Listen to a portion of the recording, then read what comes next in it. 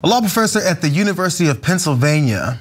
Her name is Amy Wax. Um, she's in a little bit of trouble after she went on. She was interviewing on the uh, Glenn Loury show. She's a Loury show with with the journalist Glenn Loury, and she was talking about uh, academia and and students and how everything flows. And she had a particular kind of student that she feels is just out of place, and maybe we need to lessen in this country. Uh, let's listen to what she was saying here. Now, that doesn't mean that that this influx of Asian elites is unproblematic. I actually think it's problematic.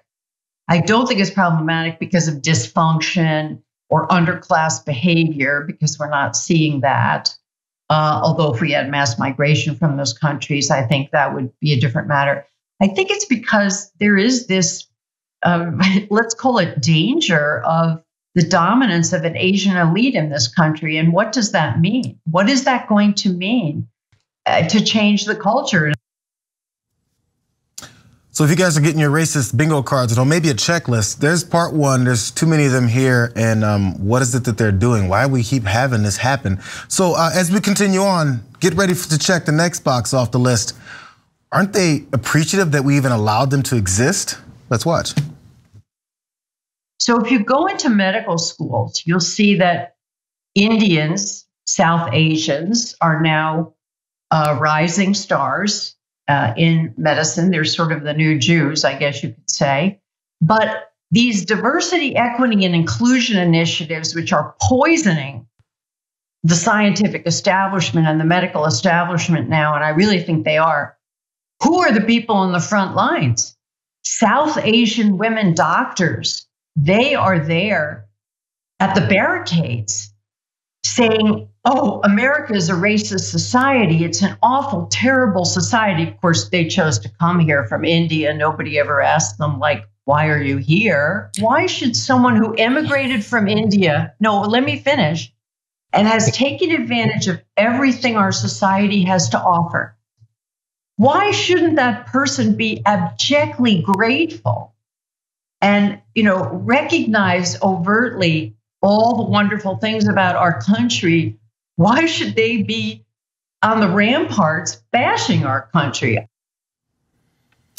Tell you what, these uppity folks that just don't understand how to appreciate everything that we've given them in their lives, because without us, they're nothing, you know?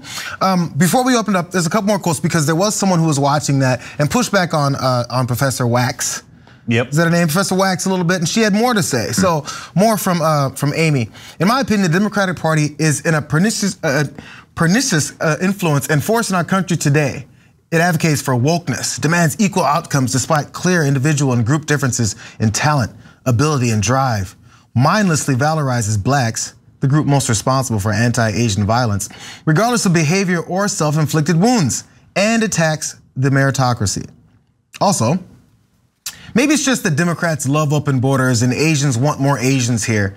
Perhaps they, and especially their this their distaff element, are just mesmerized by the feel-good cult of diversity. I don't know the answer, but as long as most Asians support Democrats to help them advance their positions, I think the United States is better off with fewer Asians and less Asian immigration. Ooh, okay. This is a professor what? that um, that has, as she pointed out, Asian folks in her classes and talks about what they deserve and what they need and what we should do with them. it's a good so, position to be in. She, she really reached back into the to, to the early 1900s anti-Asian racism with all that. Like I, I felt like I was back uh, against like the uh, the the Chinese Exclusion Act uh, type of rhetoric at that point. Goodness, man. Yeah, that's uh, something else. If you don't know what Luce is referring to, the Chinese Exclusion Act was uh, an act that uh, banned Chinese from the country, period. It's what Trump wanted mm-hmm. to do with uh, Muslims when he said a total and complete shutdown of Muslims entering Absolutely. the country. It's actually the only race that's ever been banned from America. Um, mm-hmm. And so obviously got lifted later. But it was a deeply racist law that probably Amy Wax thinks we should bring back. Uh, well, I mean, she said it. She said we need.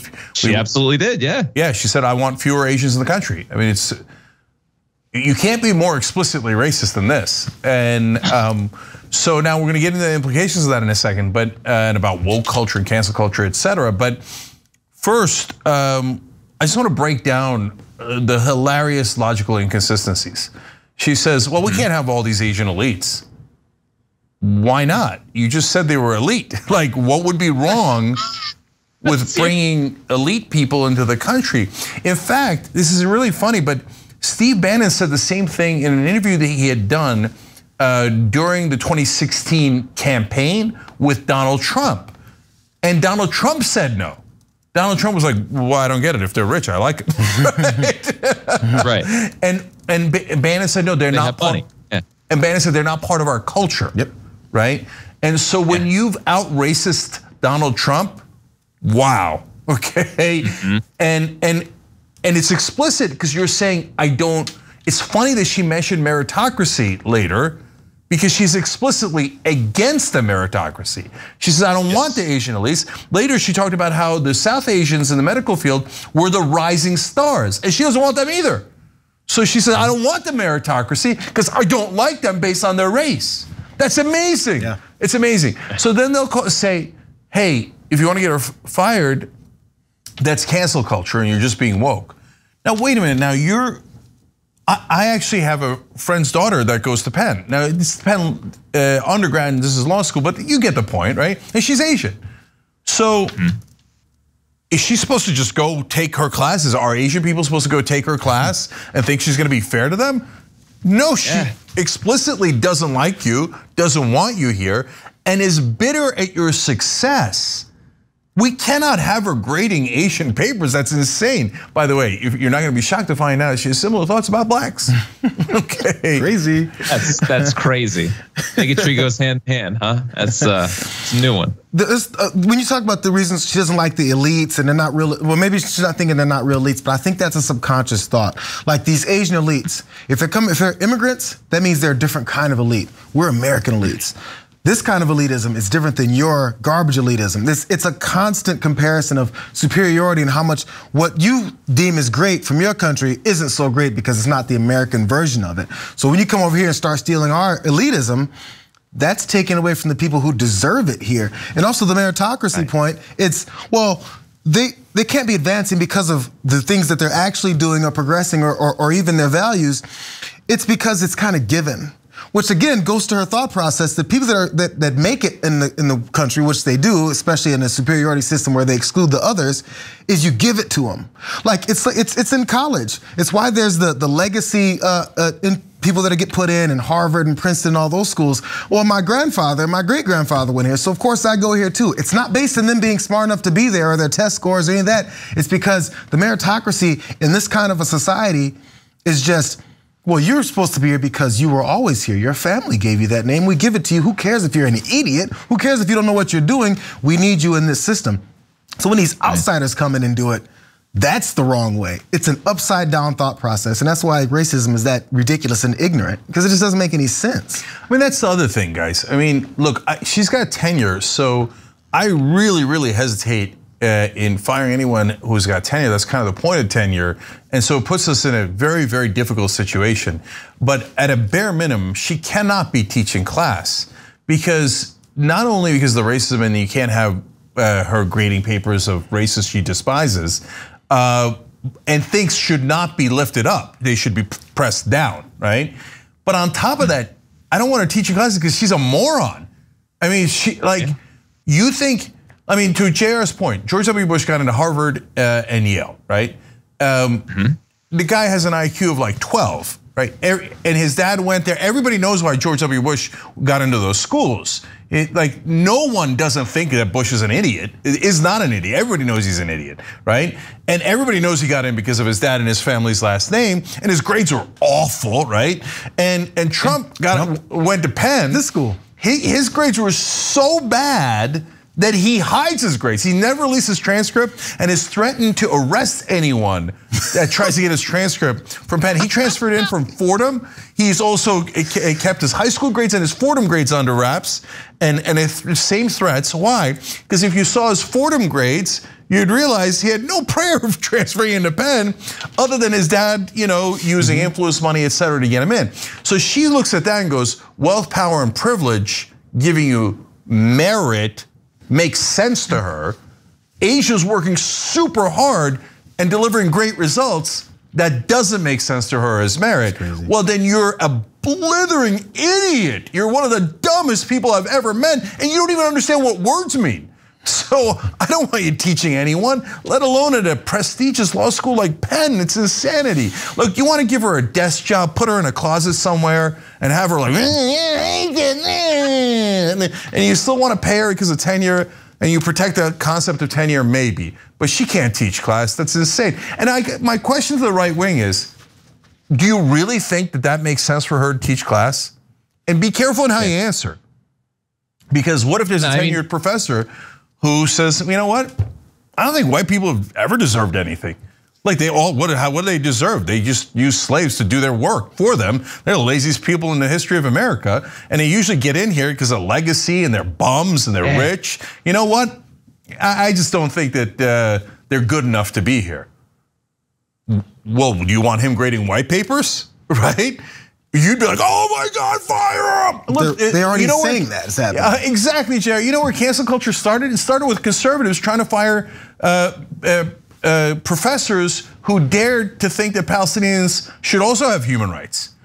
So mm-hmm. they like Bari Weiss and others would go around and say that professor said Palestinians are humans. Fire them, fire them, right? Who cares about tenure? They started cancel culture. Mm-hmm. So you know that if someone even tweaked white people, you'd want them burnt at the stake, let alone fired, right? And you got a deep racist here, and you think it's okay for her to teach class? Come on, if you think that, then you're obviously just as racist as she is just just give her the uh, the Milton treatment from Office Space. You know, just put her in the basement at her own desk, make her think she's still teaching some sort of a class, and uh, you know, leave her to her own devices for a couple of years. See what happens. Well, I mean, let's listen to what the dean of the UPenn Law School actually had to say about this, because I mean, this is not becoming a story. It's getting out there, and maybe they don't, what colleges don't like is too much negative attention, because you know maybe people mm-hmm. may rethink going to this school, which is their purpose for even being there. So this is what uh, uh, the dean at the UPenn Law School had to say about her. Once again, once again, Amy Wax, through her thoroughly anti-intellectual and racist comments uh, denigrating Asian immigrants, underscored a fundamental tension around harmful speech at American universities. Oh, you're on, you're on point. Like all racist general, uh, generalizations, Wax's recent comments inflict hey. harm by perpetuating stereotypes and placing differential burdens on Asian students, faculty, and staff to carry the weight of this vitriol and bias. Man, what a strong statement from Theodore Rugers.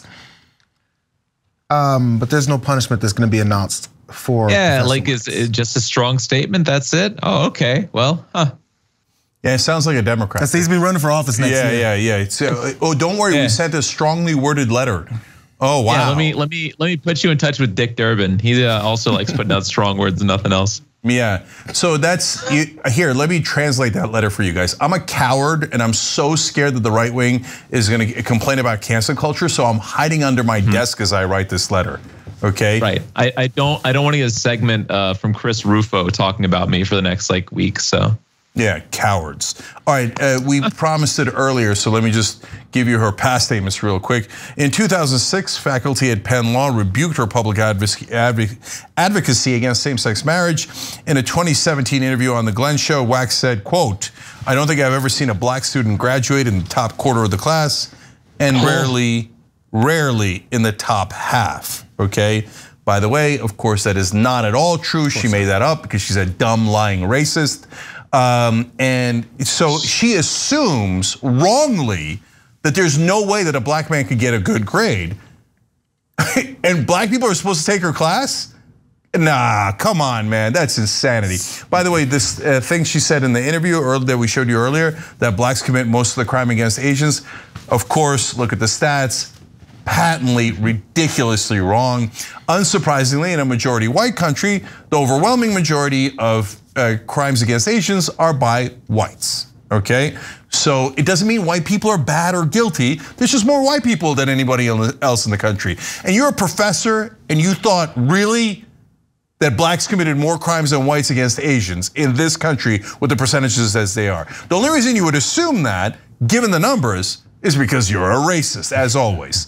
And then last yeah. one, in 2019, students at the Penn Law called for Wax's termination after she was caught on camera saying the United States, quote, will be better off with more whites and fewer non-whites.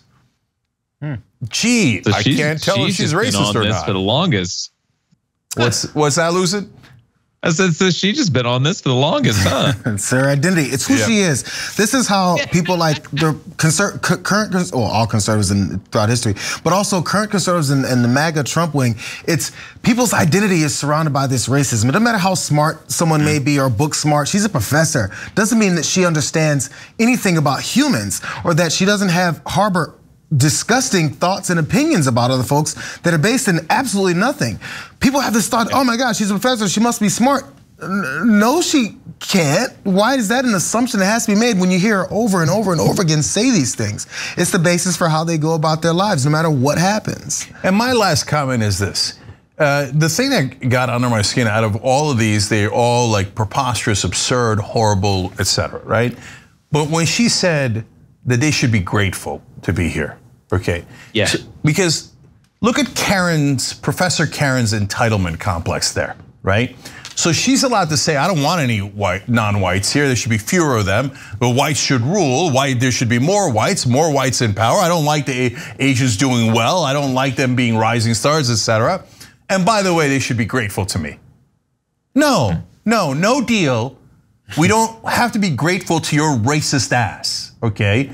Uh, guess why we came here? I'm an immigrant. I came from Turkey. You know why I came here? Because I love the idea of equality. I didn't come here to be your servant. I came here to be equal. And guess what? I'm an American citizen.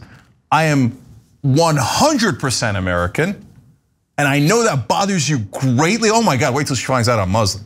Oh, oh, can't wait for that. Okay. But no, we do not agree and will never agree to serve you or to put ourselves underneath you and to be grateful for your sorry, ignorant, ridiculous racism. We're not gonna do it.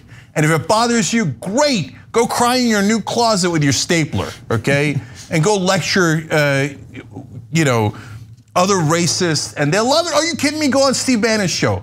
You guys can have an agreement fest 24 7. But if Penn lets her teach another class, they're disgusting. And I'll try to get every alumni to never contribute to Penn again for allowing racists like this to grade black and Asian and Indian uh, tests. Are you insane? No, we don't want idiots like this ever teaching class again. Thanks for watching The Young Turks. Really appreciate it. Another way to show support is through YouTube memberships. You'll get to interact with us more. There's live chat emojis, badges. You've got emojis of me, Ana, John, JR. So those are super fun. But you also get playback of our exclusive member only shows and specials right after they air. So all of that, all you gotta do is click that join button right underneath the video. Thank you.